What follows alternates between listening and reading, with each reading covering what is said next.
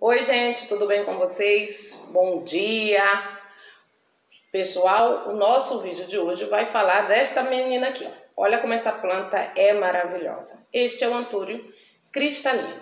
Uma planta que não é muito comum no nosso dia a dia, mas que quando a gente fica de frente com ela, logo se encanta e é muito difícil ver e não querer um exemplar para si.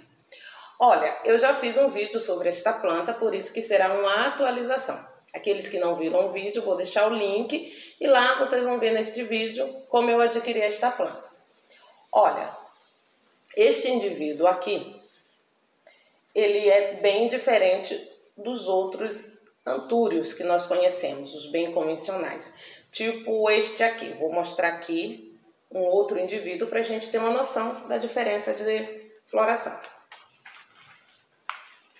Vocês me desculpem, mas aqui os meus bastidores, eu fico espremida aqui para gravar, sabe?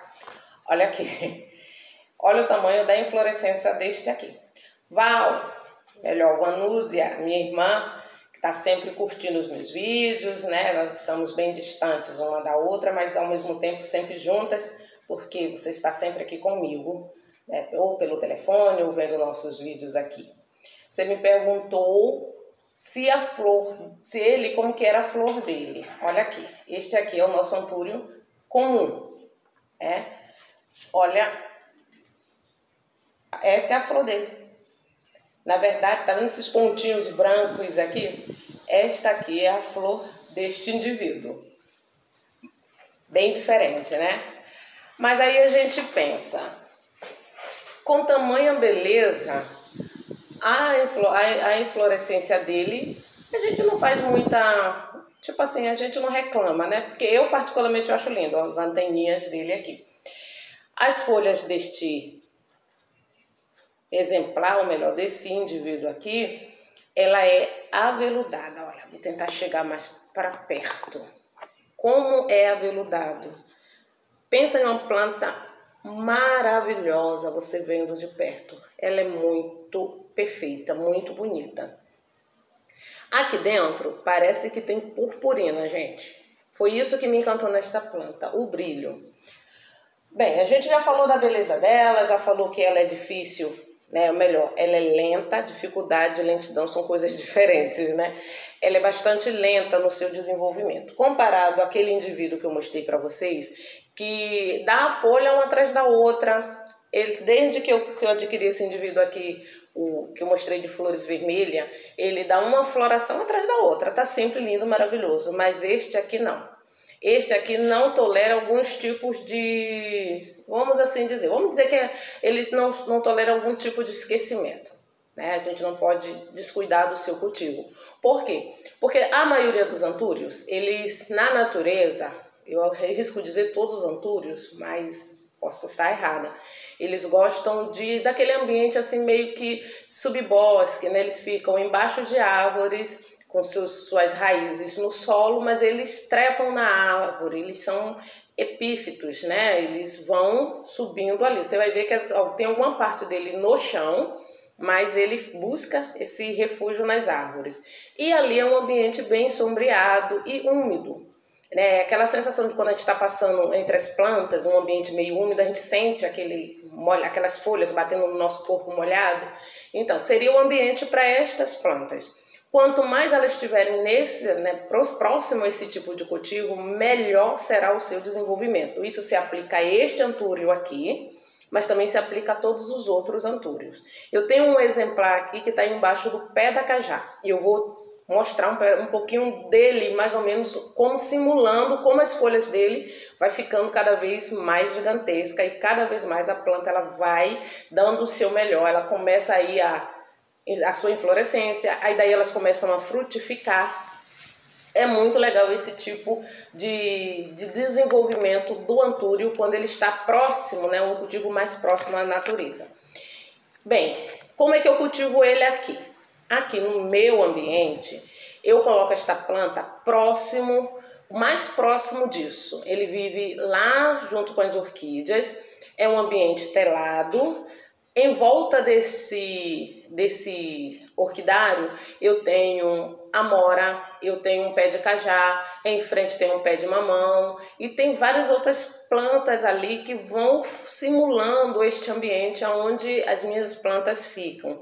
Então lá ele se dá super bem. Mesmo nesse ambiente, em dois meses e meio ele me deu, olha quantas folhas ele me deu, gente, duas. E esta aqui, ó, já tá se despedindo de mim. Isso aqui não é fungo não.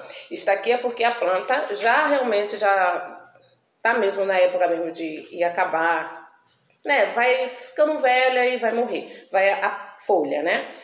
E também porque eu deixei dentro de casa e dentro de casa ela não é o mesmo ambiente. Para que ela ficasse bem, ela teria que ser acostumada a ficar dentro de casa. Ela pode ficar, mas você tem que acostumar a planta, ela vai passar por tudo isso depois ela vai se acostumar e está sempre proporcionando. Lembra das folhas batendo no corpo quando você passa em um lugar, mesmo quando não chove, você passa e você sente que as folhas estão molhadas. Então, tentar manter isso, dar uma borrifadinha com água, que ela vai super bem.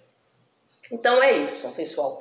Essa daqui está em um cultivo inapropriado. Ana, então por que, que você está com a sua planta em um cultivo inapropriado? Ela se acostumou, porque eu adquiri esse indivíduo adulto e veio de uma outra pessoa que também cultivava em seu quintal, tinha lá o cultivo dela e ela colocou ele soterrado dentro de uma terra meio que parecida com a areola. Ele sobreviveu, conseguiu suportar, porque planta elas são resilientes, você ela tem um certo limite, né? E eu trouxe ele para cá, ela tinha recém-plantado este exemplar e ele estava bem sofrido, muito sofrido mesmo. Então eu pensei, se eu tirar a planta deste pote para colocar em um cultivo que eu julgo que estaria melhor, podia ser que ela morresse. Então, não, o risco era maior né, do que o benefício. Eu deixei lá e ficou provado que foi a melhor coisa que eu fiz, foi não mexer. Está super bem. Com o passar dos anos, eu vou pensar no caso. Porque Antúrio também não gosta dessa questão de ficar botando em vaso muito grande. Ele vai gostar porque ele vai ficar próximo do que ele estaria na natureza mas vai demorar a lançar flor, é, folhas novas, né, dar essa toda exuberância. Por quê? Porque ele está bem e ele vai enraizar, ele vai dispensar toda a energia dele nas raízes. Mas não é o que a gente quer, né? A gente quer folha, a gente quer a beleza. Então mantém ele em um pote mais apertadinho.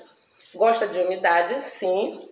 O meu aqui eu molho todo dia, porque está em um pote de, de, de barro, então eu estou todo dia molhando esta planta. Boto ele no ambiente onde as folhas dele ficam molhadas de manhã? Sim, porque é embaixo né, das orquídeas e ele recebe tudo isso.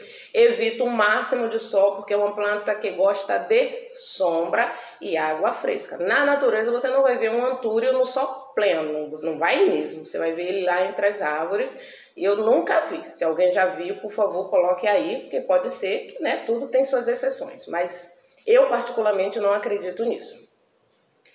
Ah, agora, pessoal, saindo aqui deste indivíduo, deste tamanhão, quero atualizar as mudas que eu fiz. Né? Essas mudas já estão quase beirando um ano, gente. É um ano? Não, não chega tudo isso não. Ah, exagero mesmo.